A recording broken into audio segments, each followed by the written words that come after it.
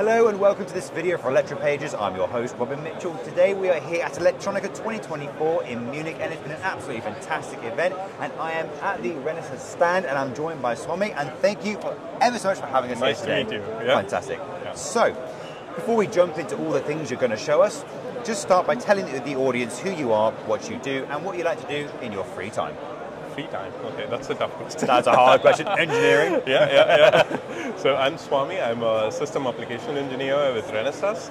And in my free time, I have a four-year-old daughter. Yeah.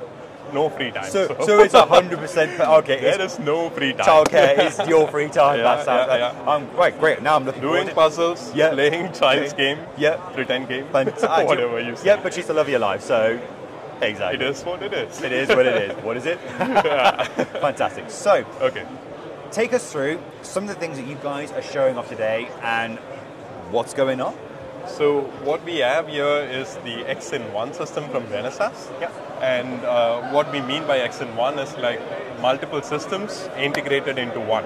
Right. So typically in an EV, what you see, you have onboard charger, you have battery management, you have a high voltage to low voltage yep. DC-DC, you have the traction inverter, you have PTC, you have PDU, and you have an MCU and PMIC or the power management IC for each particular application.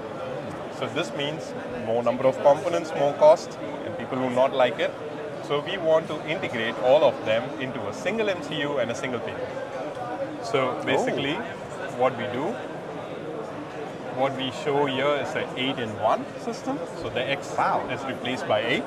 So we have gear, motor, inverter, onboard charger, DC-DC converter, power distribution, your heater, your BMS, all controlled by one Renesas MCU, powerful MCU U2B6, and a Renesas PMIC. And the complete system is built with Renesas products. So Renesas provides power modules, gate drivers. Oh, blimey, look at that. Power modules, gate drivers, the MCU and the PMIC, and yeah, so the inverter what we have is like uh, we can support 400 volts and 800 volts battery application. So we have IGBT and silicon carbide power modules. We have the gate drivers for them. And on the OBC, we have silicon carbide OBC, the PFC stage. We have a bidirectional onboard charger design. That means you can charge your car, and when it's fully charged, you can also supply some back to the grid same some more cost. now, my, my quick question here is: yes. Is the focus of the product specifically the MCU, or is it the entire module? The as entire a, as thing. So we provide this not only the products, the power products, the the GDUs, the switches, the modules, the MCU and PMIC, but we are also offering this as a system solution. Yeah. So the customers can buy this as a complete kit, uh, a complete straight turnkey solution. Like this take one here. this, yeah, exactly. You take this, you modify it for your requirements, yep. for your customers, and then it will work. And we provide support for modifying our solution to fit your application needs, to customers' application needs. Yeah. So, yeah. So, my, so, more, so one thing that sort of comes to my mind here is that by combining everything like this with one MCU, you're reducing the, the total number of components. And by doing that, you're improving the reliability. Because there's, well, in the sense that you've got less failure points that could potentially go wrong. Mm-hmm. Um, but one thing I think I heard you mention, you mentioned water cooling. Water did you mention cooling. water? Did you, did you mention? I think I saw. What, so what's yes, going on yes, here? Yes, So, so basically, like what we are doing here is like we are reducing the number of parts. Yeah. Okay. So that is one thing. We are lower cost. Yeah. And then further, what we are also doing is we have all of them integrated into a single kit. Oh yeah, so yeah. Typically, what you have in your car, your onboard charger is in the front, at the front. Your inverter is in the rear, driving yeah. your motors. Yeah. Your battery pack is on the floor. Yeah. And what you would do, you would run cables from your battery yeah. pack to the onboard charger to your inverter. Thicker cables, so very high wiring harness, more weight. Yeah. But when you have everything in a single box, it's Short, yeah. reduced weight, and you have only one set of cables running from your battery to the kit here and, and, I'm guessing that the total cable length is reduced, which Very reduces reduced. losses, exactly. also reduces interference and issues like that. I imagine is a big issue as well. Exactly. And so, also, all this, the, the, the cooling functionality all shared. Yeah. So we have a liquid cooled system. Mm. So the inverter, OBC, DC-DC, all are cooled by the same cooling system here. And in this case, it looks like that uh, as a demonstration, you're sort of mounting it on top of like what looks like is this is the transmission or the which, which section is this? This this, this body So here. this is the motor. Yeah. The motor and the reduction gear and uh, everything is inside. And, and, and, and a question I do actually have about motors, because I am completely ignorant when it comes to automotive, it comes to uh, automotive motors. Do they often use water cooling or, or some kind of cooling mechanisms? Because I imagine that when they operate, they are going to get warm. Yes. and So- so and so, is that something that you could combine the two together? So, like I say about shared cooling. Uh, to be honest, like Renesas doesn't provide the motor, so Yeah. we are providing the electronics Oh, and the I- I- system. I got it, So this got it, is yeah. from the uh, let's say the customer. yeah, yeah, yeah. And So this so- motor is from the deck, yeah. and Um, uh, we are only supporting the control part. yeah. And so and so, would this be? Would you have one of these on top of every motor, or do you think would it just be like one centralized system? Sorry, uh, I Uh, you. so would you have one of these on top of every motor, or would it be kind of like uh, one centralized system that goes out the, to the rest? The, the, the inverter supports one motor. We also have a design for dual motor design. Yeah. So dual motor support, so we Yeah. can also control that. Yeah. Uh, but this kit shows only a single motor control. yeah. Yeah. Now, um, so, so in order to make this work, you've had to combine all of tho- those features into one chip. All the controls. Spe- Specifically, specifically the, the, the, all the control into one chip. Yes. So, what kind of specs do we have in this chip that, that allow it to do this? What, how many, what kind of cores, peripherals? What are we, what are we looking at? So we, uh, so this is a multi-core processor basically. Yeah. And if I go into the. By the way, I'm guessing it's that one right there. Yes, this Yeah. one. So this is a multi-core processor. Yeah. We have three cores, and we on one core we implement the traction inverter and onboard charger control. Yep. They are mutually exclusive. Nobody is going to drive the car when connected to the outlet. No, no. I hope not. No. We, we still have brains to do not Yeah. to do that. so that is mutually exclusive. So Yeah. they share the same core, and Yeah. only one functionality runs at a time. And the DC-DC runs on a separate core, and the rest of the PDU, PTC, and all the other functions are implemented on a different core. Yeah. So the two cores are lockstep cores. That means you have one main core and there is one checker core. Yeah. So we support ASIL-D's uh, safety level there. Yeah, and, and, and do you also have like safety islands as well to make sure that if one function sort of goes haywire, the other functions aren't affected? Yes, so they are uh, they are implemented in a software framework that, Yeah. such that like they are not interfered when they are running together. Yeah. So we have separate software framework for that. Fantastic. And is it? And, and, and I know you guys provide the whole solution, but is it also possible for customers to, to, to just sort of like take the chip itself if they want it for their own sort of design? Yes. For? Yes. So it's like not uh, we are selling this as a complete Uh, system. it's like the the customer can pick Yeah. and choose. Yeah. So if they only want, let's say, the hardware design, let's say the PCB design files. I just want the PCB design. I know how to implement my traction inverter. We are fine with that. We provide that. Yeah. Let's say if someone has already uh, hardware and they want to have some software, Yeah. we need some support in software. We provide only the software for that. So it's very flexible how they can what they can choose and what they can buy for.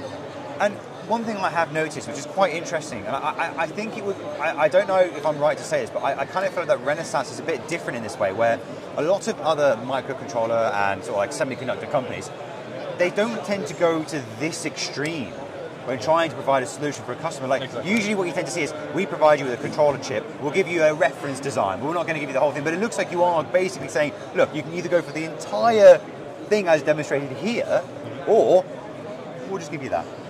No, so we you are right. Most of the the, uh, the, the let's say the semiconductor providers stop Yeah. at the component level. Yeah, yeah. At most they go with the uh, device drivers, but Yeah. not far, far from that. We want to ensure end-to-end support to the customer, so we we not only provide devices, but we also support them on how to use our devices to build a system, and we provide reference design. So this is also a reference design. So this is not a production uh, version. So you cannot put this directly No, no, in no. the no. car It's, right it's, now. a, it's a uh, demonstration of what it could do. Exactly, Yeah. And- exactly. And, and, and what you're showing here is how you guys have developed modules that you could put in, Exactly. or you could choose. I just want this part. I only want Yeah. these silicon carbide. I don't know Yeah. drivers, whatever. And, and Yeah. But the point, or the purpose of this is that you you are showing how you can take, I don't know, ten different controllers, move them onto one chip, Exactly. and then by and then by doing that you can increase reliability, safety. Uh, Reduce it- the cost. it redu- most importantly reduce Yes. cost because these chips any any automotive part is not cheap Yes. you know you do if you have eight automotive grade controllers In automotive, if you say one cent, it's one cent.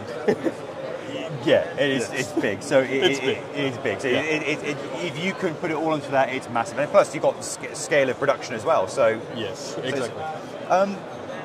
So, if we, let's say like let, let's let's say like an engineer uh, is looking to develop develop their own sort of board. So I take it you've got application notes, integration notes, all those kind of things. Yeah. Yeah, so we, we have like detailed design documentation for how Yeah. do you uh, implement or how do you use our products in the system. Yeah. And we also extend the support in like let's say if if a customer buys this product and wants to test it in his lab, Yeah. we provide enough support like we can ensure that yeah it works perfectly and also if we have to modify it, Yeah. we help in modifying it. So it's an end-to-end system Yeah. solution basically. You know, you know, the funny thing is normally when I do these videos, people tend to show very hyper, like hyper specific kind of products. So you can talk a lot about it. But to be fair, it seems like that, that, you- that uh, the solution you develop, is quite greedy. It's just sort of gone, I'll just do everything. It's just taken everything and gone, right, I'll just do it all. So you go, okay, it does everything.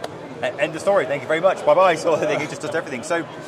So when you were showing me those reference designs and then the modules designs, do you also integrate like the silicon carbide, the the, the, Yes. the driving and all that as well? Yes. So this this module is with silicon carbide, and uh, the one we have implemented one uh, inside is Yeah. based on IGBT. So we have a solution. Uh, yeah. So we have 750 volts IGBT, 1200 Ah. volts IGBT. Are, are these gate drivers by any Yes, these are I gate see. drivers. Yeah, yeah. And we have 1200 volt silicon carbide modules. Yeah. So this is for 400 volts batteries, and this is for 800 volt battery applications. And, and again, what's nice about this diagram is you're showing how the, Rena- the Renesas family is, is providing chips in every part of this design. Exactly. But the most important thing, just one controller. Yeah. One controller. maximize the BOM, reduce the con- uh, components. Yeah. Exactly. Exactly. So the, the controller actually implements the battery management algorithms. You, can you can actually Oh, I see. So things like yeah. charging so it currents. can yeah, it can uh, it can uh, it implements the SOC estimation, SOH estimation. Yeah. We have software and we have the uh, the algorithms Yeah. to estimate SOC, SOH, and manage the battery pack. But Yeah. the battery devices, I'm we, Yeah. I'm not marketing that right now. No, no, but, but but the point is, like I said, it's all on one chip. You've got the whole family to sort it all out. Yes. Reduces cost. In my opinion, reduces uh, increases reliability because you've reduced the number of points that can go wrong. Exactly. Move it onto one chip, and it's, uh, it's actually it's probably simple simpler to design as well. Right. Because you've got less things jumping around. You haven't got cables going all over the place trying to communicate. Lower wiring harness, so lower Yeah. uh, chances of fault.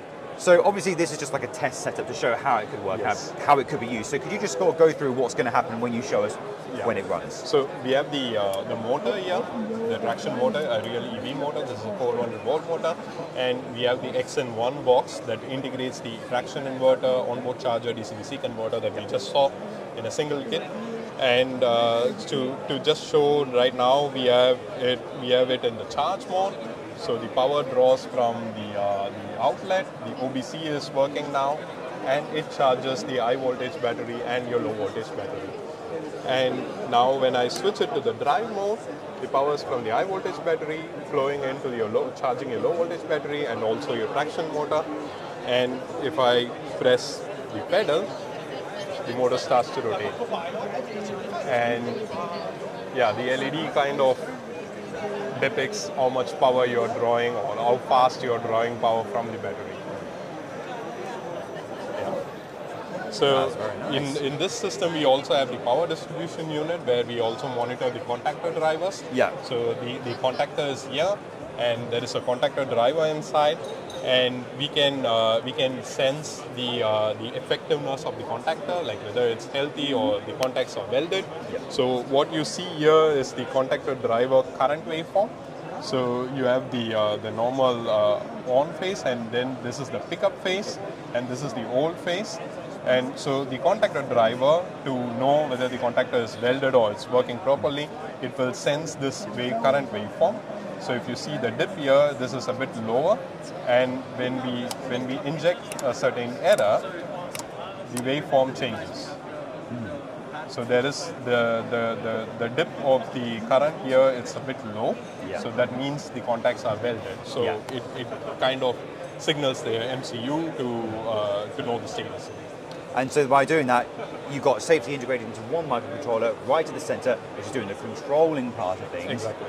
And by doing that, you can integrate all these safety features into one place. Yeah. Fantastic. So before we wrap up this video, I've got one more question for you. For the audience who are watching this video, if they want to get involved with Renesas Solutions and the stuff that you've been showing today, what would you recommend that they do? Approach us. We can uh, we can have a detailed discussion like how we can support you in Yep. every every system design. So Yep. we have the products for uh, covering all the parts of the electric vehicle. We have the power modules, the gate drivers, the MCUs, PMICs, and we have also reference designs and system software, application software. So we can support in all aspects of system design.